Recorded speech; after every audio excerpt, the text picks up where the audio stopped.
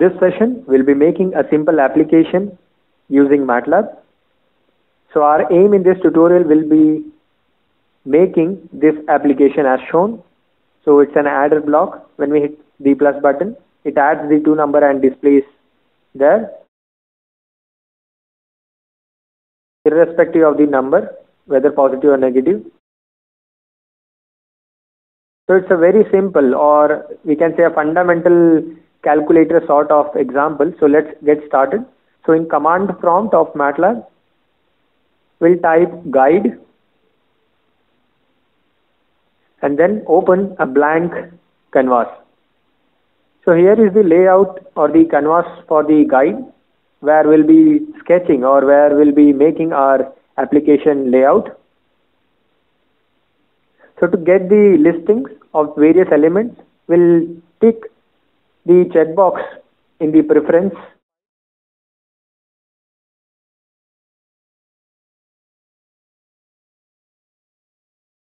So let's resize our canvas.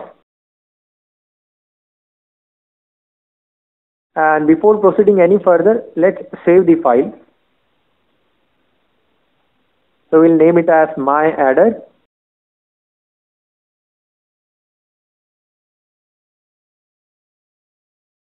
As soon as we save it, it generates a script file that is .m file.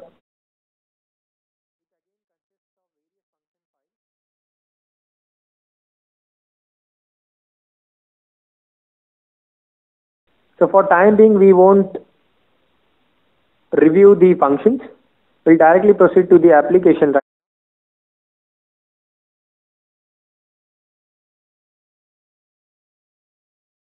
So let's add the elements like edit box, edit text.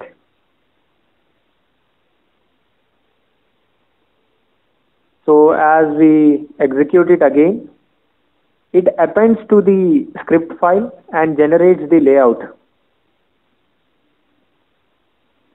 Edit box refers to that user can change the inputs or the strings. So as soon as we double click, property inspector appears which consists of various attributes related to that element. So in this session like we'll be focusing mainly on the string and the tag that is the string and the tag. So string is something which user will perceive or we user can interact. But the tag is something our program will be using. So setting the string let's say for a number we'll enter 11 so it gets automatically adjusted there and the font and various other attributes one can easily understand.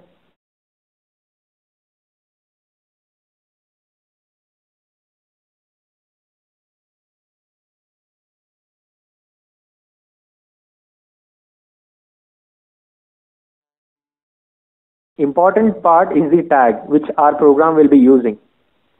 So we'll name it as num1 and if we see the tag and the string. So let's execute it once again.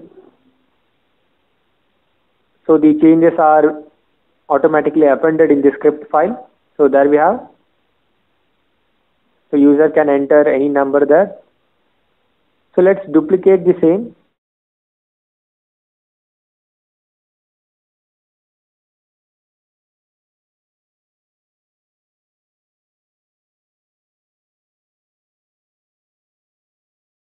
and for time being let's change the string that is the number displayed.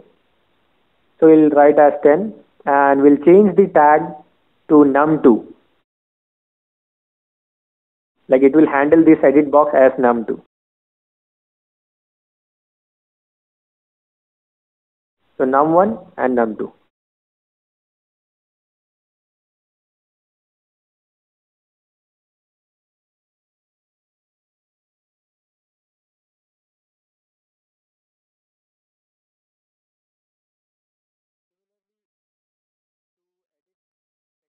we have static text box that is user can see but user can't interact. We'll be using only it for displaying it as a string not to edit. So we won't be modifying that tag there and we can change the font size, color and the weight.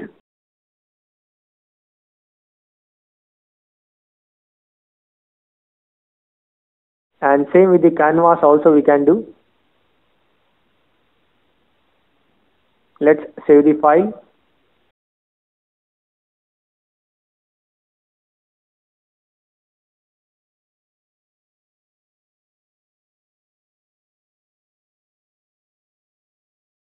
So for calculating, we'll be requiring a push button. So we'll drag and place a push button there. Again, double clicking, property inspector appears.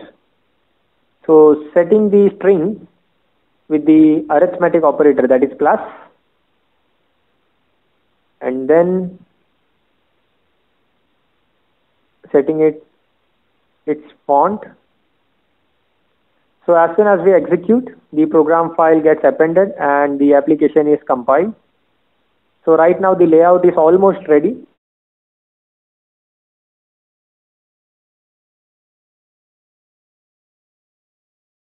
So for arranging the layout, we'll select all the elements and hit that yellow bar and we can vertically and horizontally align it.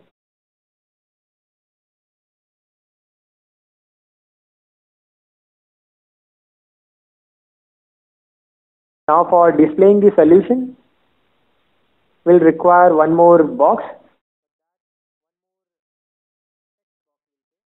But this should be static since user should not directly manipulate that. So for time being, we'll paste the R solution for 11 plus 10 that is 21.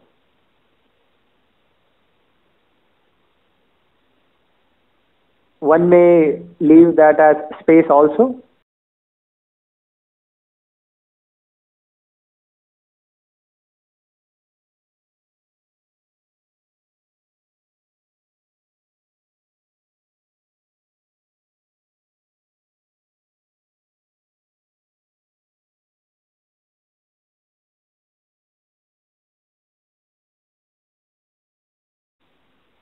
So our application layout is almost ready.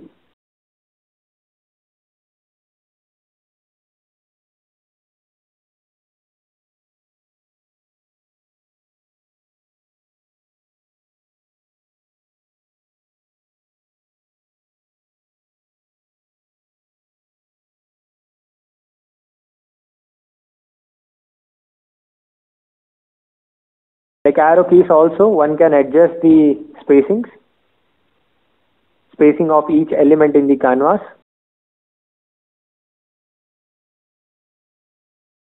So the strategy here will be programming that push button. So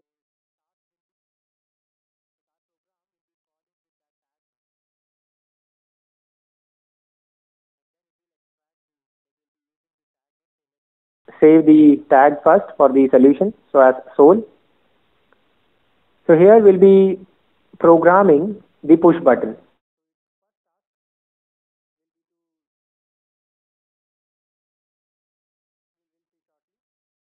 Opening the editor file.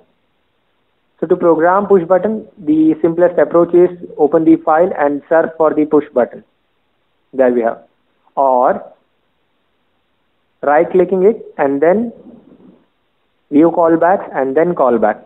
So it directly lists where to edit so the strategy here is the user will be interacting only with the string values for the edit text box. So first strategy will be to get the string of num1 and then get string of num2, add it and then directly set it to the solution.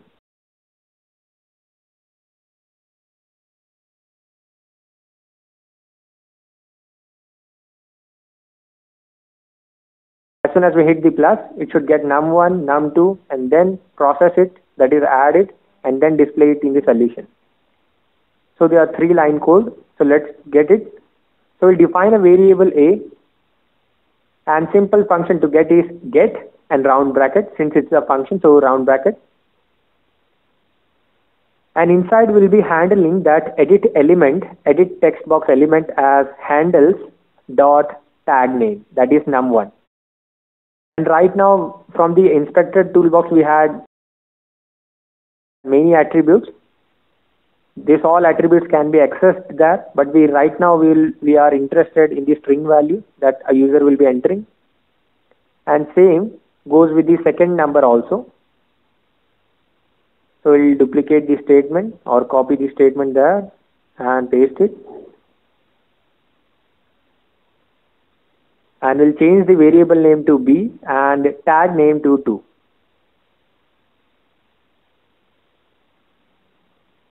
So as soon as we execute the file, right now it will only capture the number like num1 and num2, but it won't process it. So for setting the solution, we'll use set function. So again for using the control of that block, we have set it set the tag as sol. So we'll type handles dot sol sol comma. Right now we want to modify the string value, so we'll write string and then with what value we want to write this that string. So we want that as a value that is a plus b.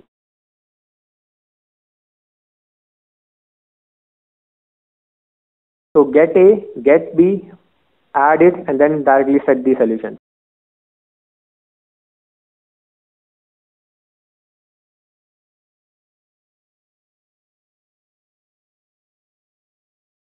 So right now it's taking that ASCII value and adding it or displaying it directly. So let's convert that string, entered string into number. So we'll be using another function called string to num converter. So again, it's a function. So we'll write string str to num, num, or one may use double also.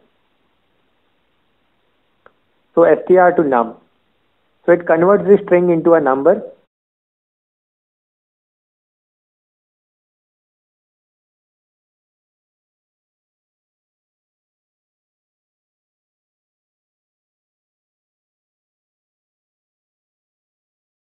executing it and checking with the solution. So we have our application ready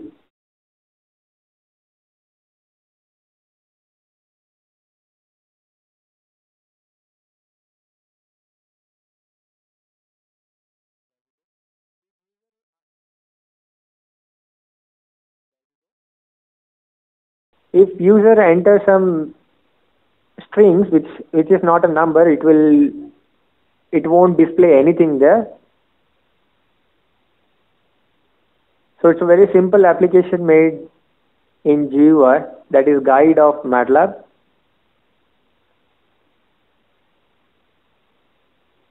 And after saving these two files should be again together.